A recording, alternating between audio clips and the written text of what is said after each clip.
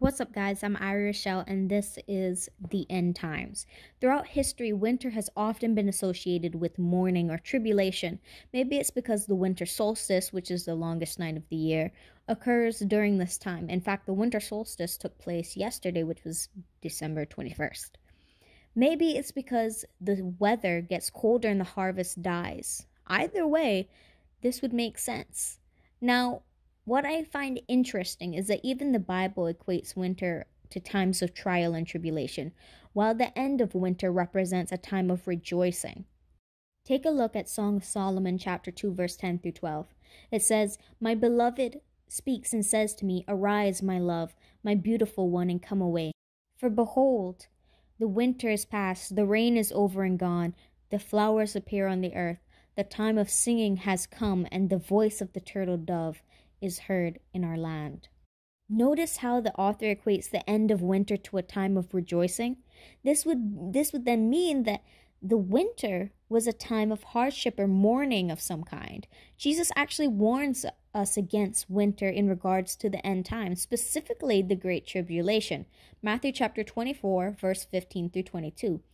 So when you see the abomination of desolation spoken of by the prophet Daniel standing in the holy place, let the reader understand. Then let those who are in Judea flee to the mountains. Let the one who is on the housetop not go down to take what is in his house. And let the one who is in the field not turn back to take his cloak. And alas, for women who are pregnant and for those who are nursing infants in those days. Pray that your flight may not be in winter or on a Sabbath. For then there will be great tribulation, such as has not been from the beginning of the world until now, no, and never will be. And if those days had not been cut short, no human being would be saved, but for the sake of the elect, those days will be cut short. According to Jesus himself, winter will be the beginning of the great tribulation, a time of pain and suffering for the church that has never been before and will never be again. And yes, you heard me right. I said for the church. Do you know who Jesus is talking to in this passage? I'll let you in on a little secret. It's not just random people, it's not the Pharisees, it's not even those who follow him from place to place. It's his disciples, it's his closest followers.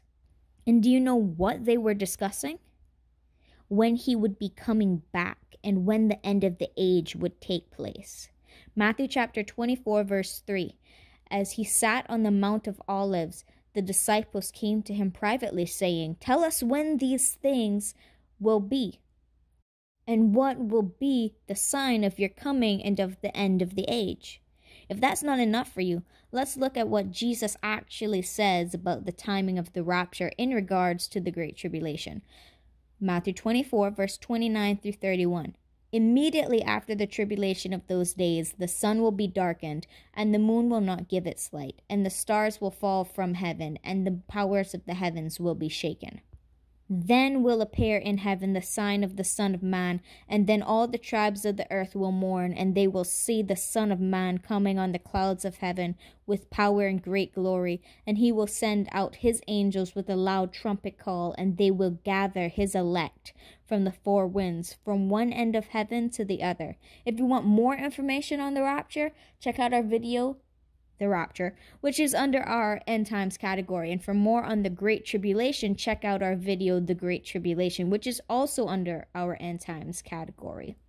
So, why would the Great Tribulation take place in winter? Well, I believe it's because winter, as I stated earlier, is the time of year that darkness seems to prevail. This is the time of year when nights are longer. But here's the interesting part after the longest night of the year, the winter solstice, the night slowly but surely gets shorter, and the day begins to prevail again, leading up to the summer solstice, which is the longest day of the year. Now, Jesus, being the Word of God, is the light of the world. John 8 12 and John 9 5. We, being the temple of the living God, are also the light of the world. Matthew 5 14. If following Christ becomes illegal worldwide and all of his followers are being persecuted worldwide, then would that not feel as if darkness is overcoming light, night overcoming day? Now, I'm not saying, nor will I ever say, that darkness or night will ever overcome light nor day. For as John proclaims of Jesus, John chapter 1 verse 5, the light shines in the darkness and the darkness has not overcome it. So with that said, what if the first verse that we read is the indicator of when the great tribulation would end? Now, I'm not claiming to know the date of the rapture. That's not what I'm saying. As we know, no one knows the day nor the hour that Jesus is coming back. Matthew chapter 24, verse 36 through 37. But concerning that day and hour, no one knows, not even the angels of heaven, nor the Son, but the Father only. For as were the days of Noah, so will be the coming of the Son of Man. I'm just saying, what if Jesus comes back after the winter is over?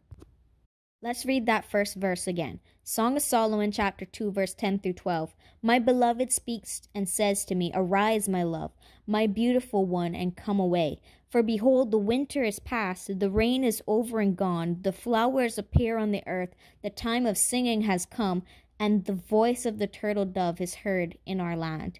This entire passage is about the bridegroom calling the bride away with him.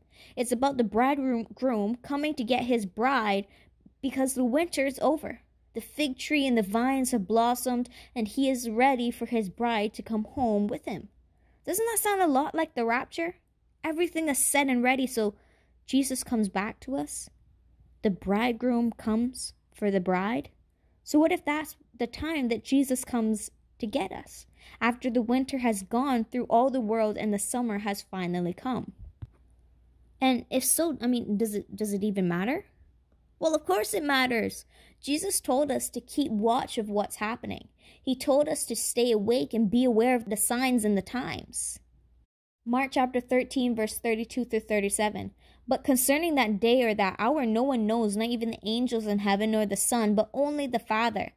Be on guard, keep awake, for you do not know when the time will come. It is like a man going on a journey when he leaves home and puts his servants in charge, each with his work, and commands the doorkeeper to stay awake. Therefore, stay awake. For you do not know when the master of the house will come, in the evening or at midnight, or when the rooster crows, or in the morning, lest he come suddenly and find you asleep.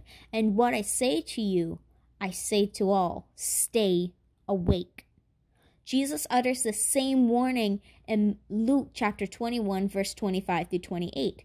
And there shall be signs in the sun and in the moon and in the stars, and upon the earth distress among nations with perplexity, the sea and the waves roaring. Men's heart will fail them for fear and for looking upon those things which are coming on the earth. For the powers of heaven shall be shaken. And then shall they see the Son of Man coming in a cloud with power and great glory. And when these things begin to come to pass, then look up and lift up your heads, for your redemption draweth nigh. Jesus himself says that there will be so many signs that we will know when to look up for his return. So even if we don't know that exact date, we know when to start looking up. We know when he's soon going to come back because he's given us sign after sign after sign. He's given us signs in the heavens and on the earth.